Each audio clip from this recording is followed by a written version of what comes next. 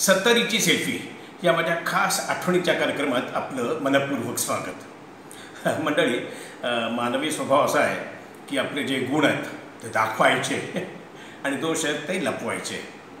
पण आता काय सत्तरीला आल्यानंतर काय आता लपवण्याचं काही कारण नाही.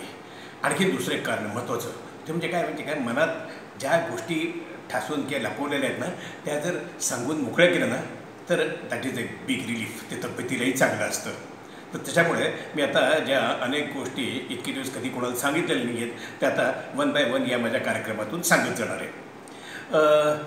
माझ्या वडिलांच्या बदलीमुळे आमचं हायस्कूलचं शिक्षण जे आहे ते औरंगाबादला झालं. आता मग औरंगाबादला बरं का तिथं संस्कृत भाषा हा काही विषय नव्हता अभ्यासाला हा. मग तिकडनं आमची परत बदली झाली पुण्याला. मी जेव्हा पुण्याला नववीत आलो तेव्हा समजलं की पुण्याच्या सगळ्या शाळातून तर आठवीपासूनच संस्कृत असायचं. मग आमचे संस्कृतचे सर जे एकदा वर्गात आले की ते म्हणजे तसे त्यांचा धाक मोठा होता. हातात छडी असायची काय मग ते आले आणि त्यांनी माझ्याकडे बघून विचारलं हां मग जर मग मी लगेच सांगितलं सर मग आम्ही औरंगाबादला आमच्याकडे काही संस्कृत वगैरे नव्हतं. मी आता प्रथमच आलो आहे वगैरे वगैरे. ते बोलल्यानंतर त्यांनी मला एक्झाम करून टाकलं. त्यांनी काही छडीबिडी मारल्याने पुढे गेले की त्यांनी ओळखले की या पोराला काही इतक्यात काही येणार नाही. पण काय झालं? त्यांचं दर शनिवारी लेक्चर असायचं. आणि दर शनिवारी म्हणजे थोडंसं शिकवायचं आहे मागून त्या ग्रहपाठ घ्यायचे. बरं संस्कृतचा ग्रहपाठ म्हणजे काय इतर ठिकाणी काय नुसती कॉपी बिपी मारून एखादं पान दाखवतील की मी केलं आहे वगैरे.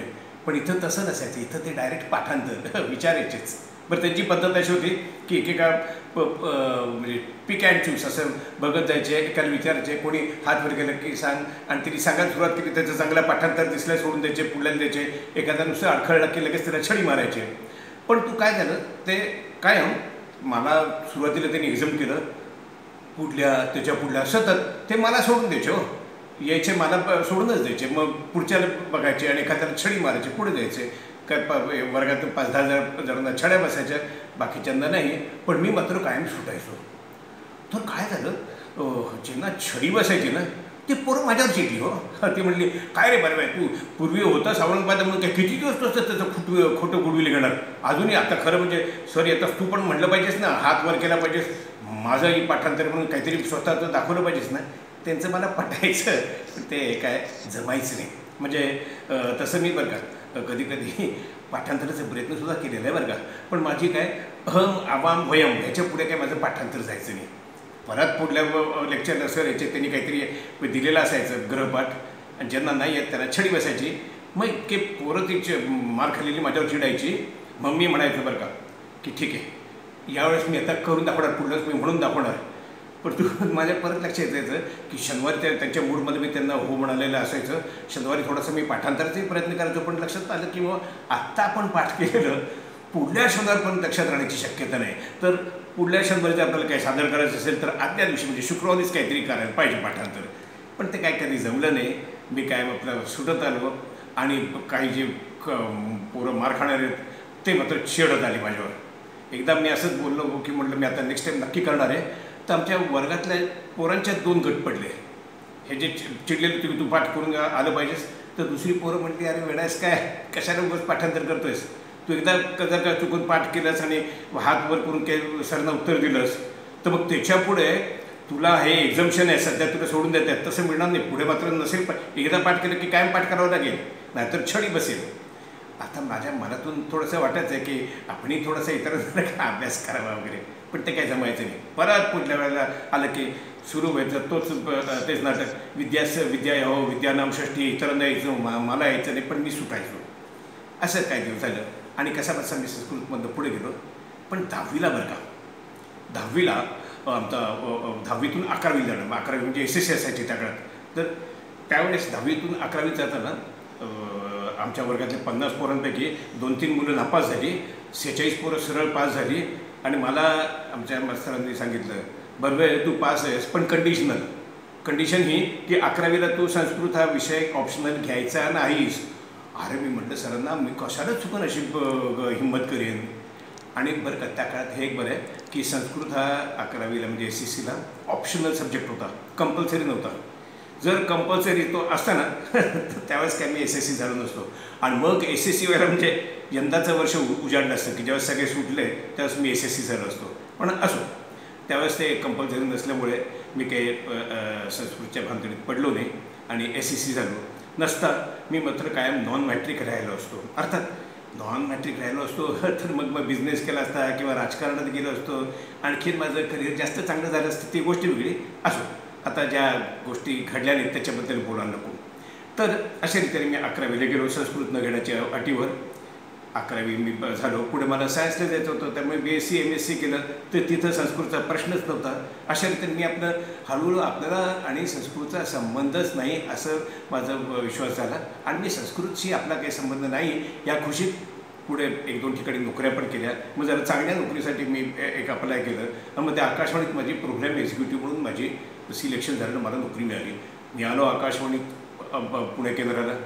जॉईनिंग रिपोर्ट केला. मग तिकडं जे भोळे साहेब होते त्यांनी मला सांगितलं की असं कर आता वसंतराव कुलकर्णी जे ज्येष्ठ प्रोड्युसर होते ते तुला मार्गदर्शन करतील. तुर्तास तुला सगळ्याचं काही दिवस महिनाभर वगैरे खाते ड्युटी रूममध्ये बसून ड्युटी रूम अनाऊन्सर आणि आकाशवाणीचं काम वगैरे कसं चालतं हे समजून घे.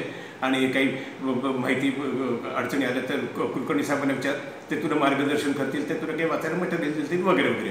तर अशा रीतीने मी माझं लर्निंग सुरू केलं.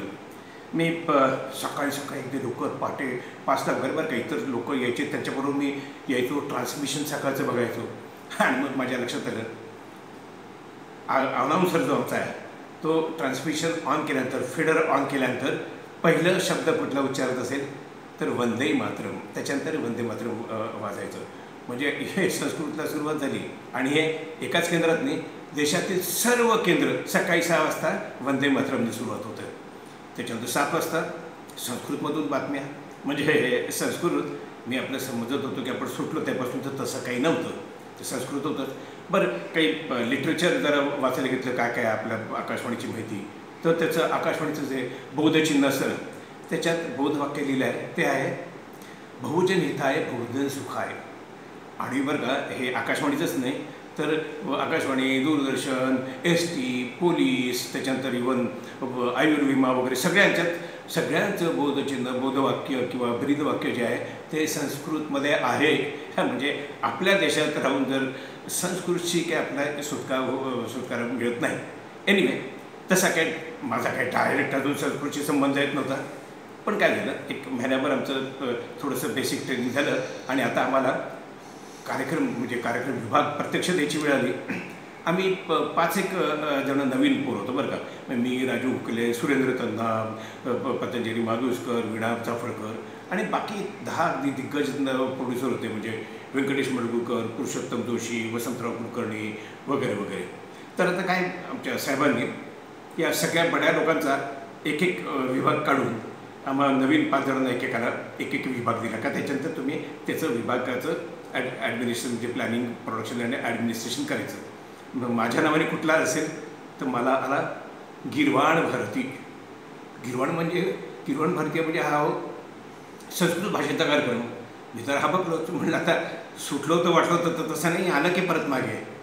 मी आमच्या कुलकर्णी साहेबांना विचार म्हटलं आम्ही एवढे पाच जण लागलो त्यातला जो सुरेंद्र दन्ना आहे तो M A with Sanskrit first class first आहे. म्हटलं की हा विभाग त्याला द्यायला पाहिजे होता. तर वसंतराव कुलकर्णी म्हणले की तसं काहीही नसतं. ते प्राईम मिनिस्टर कोणाकोणाला विभाग देतात मंत्रीपद देतात त्यात तुम्ही बघतोच ना.